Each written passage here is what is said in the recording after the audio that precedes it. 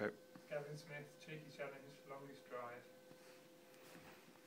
With a driver.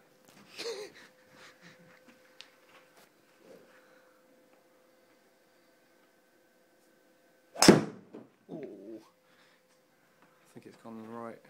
No, I didn't get it from that. Yeah, I think you've done it. Good heavens. 240. Oh, it's a beast. Yeah,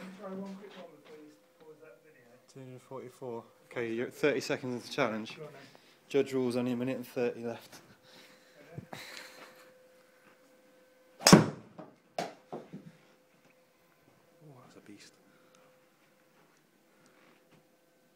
Felt better. Medium